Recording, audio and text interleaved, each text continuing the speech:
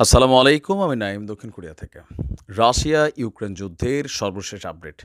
গত আটচল্লিশ ঘণ্টা রাজত্ব চলছে ভ্লাদিমির পুতিনের। বিশেষ করে সর্বশেষ রাশিয়ার অভ্যন্তরে বেলগোরদ অঞ্চলে জেলি একটা বড় ভুল করছিল।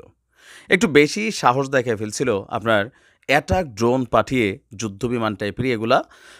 মানে ড্রোন যুদ্ধবিমান যেগুলোকে আমরা যদি তুলনা করি, সেখানে যে ভয়াবহ হামলা চালাইছিল। এরপরে আপনারা দেখছেন যে রাশিয়া ইউক্রেন যুদ্ধ শুরু হওয়ার পর সবচেয়ে দ্বিতীয় বড় যে বৃহত্তর বহর, এই বহর ছুটে গেছে খার্কিবে। টোটাল ইউক্রেনের মধ্যে এখন যুদ্ধের ফোকাস পয়েন্ট হচ্ছে খার্কিব, কারণ এই খার্কিব অঞ্চলের পাশের যে এরিয়াটা এটা হচ্ছে রাশিয়ার। এখন পুতিন করতেছে কি যে এলাকা থেকে যারা আছে, সেনাবাহিনী, ঘাঁটি, ঘুটি সব তামাতামা করে দিচ্ছে বাট এর পাশাপাশি আরেকটা স্টেপ নিচ্ছে। পশ্চিমাদের কাছ থেকে যে অস্ত্রগুলো আসছে, সবগুলো কিন্তু একদম রেডিমেড আকারে আসে না। কিছু আসে এখানে কাঁচামাল হিসাবে সামহাও এখানে এসে জোড়া টোড়া দিতে হয় বা এগুলো এখানে মডিফাই করতে হয়। এখন এই মডিফাই করার জন্য শিল্প কারখানা বা অস্ত্র কারখানাগুলোতে বিদ্যুতের প্রয়োজন। পুতিনের আবার টার্গেটটা ভিন্ন দিকে কাজ করছে। আর এই স্টাইলে এর আগেও কিন্তু পুতিন বেশ কয়েকটা ঘটনা ঘটিয়েছিল। আপনার একদিকে তাপমাত্রা কম থাকায় বিদ্যুতের চাহিদা বাড়ছে। অন্যদিকে বিদ্যুতের স্থাপনাগুলোকে এবার একের পর এক হামলার শিকার করেছে রাশিয়ার সেনারা। আমরা যদি দেখি যে গতকালকে রাশিয়ার সেনাবাহিনীর হামলার জের ধরে পুরো খার্কিভ থেকে শুরু করে বৃহত্তর অংশ ইউক্রেনের ব্ল্যাক আউটে আপনার হয়ে গেছে মানে বিদ্যুৎ বিচ্ছিন্ন হয়েছিল টোটাল ইউক্রেন। দেশটির রাষ্ট্রায়ত্ত বিদ্যুৎ পরিচালনাকারী প্রতিষ্ঠান ইউক্রেনগো এই তথ্য দিয়ে বলছে, ইউক্রেনের বিদ্যুৎ এবং জ্বালানি স্থাপনাগুলোর উপর সবচেয়ে ভয়াবহ হামলা চালাচ্ছে রাশা এসব হামলার কারণে বিদ্যুতের আভ্যন্তরীণ চাহিদা পূরণ করতে পারছে না ইউক্রেন।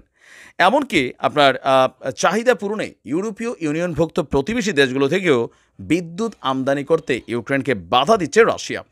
ইউক্রেনকে বলছে যে স্থানীয় সময় রাত নয়টা থেকে পরবর্তী চার ঘণ্টা ইউক্রেনের সবকটি অঞ্চলে জরুরি ভিত্তিতে বিদ্যুৎ সরবরাহ বন্ধ রাখা হয়েছিল। এর ফলে অন্ধকারে ডুবে গিয়েছিল পুরো ইউক্রেন।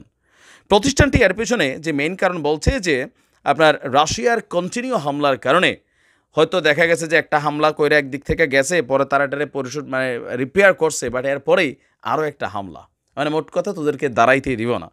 সামাজিক যোগাযোগ মাধ্যমে আপনার পশ্চিমাঞ্চলের লিভিভ শহর, পাশাপাশি খার্কিবের বৃহত্তর এরিয়ার কিছু ভিডিও দেখা গেছে, যে শহরের কেন্দ্রস্থলে ভবনগুলো অন্ধকারে ডুবে আছে। সড়কগুলোতে বাতি জ্বলছে না। আর এমনকি রাজধানী কিয়েবেও দশ শতাংশ এরিয়া ছিল বিদ্যুৎ বিচ্ছিন্ন। এখন রাশিয়ার মোটিভটা কি? মোটিভ একটাই। বিদেশ থেকে মেশিন আনো, কিন্তু আইন রেগুলার ফিট করবা কোথায়? কিছু মেশিন আসার সময় ট্রেনে উড়াই দিচ্ছে, আবার কিছু মেশিন যেখানে ফিট করবে, প্রধান যেই বিদ্যুৎ উৎপাদন, সারা পৃথিবী এখন বিদ্যুতের উপর ডিপেন্ডেবল যত শিল্প কারখানা প্রতিষ্ঠান আছে।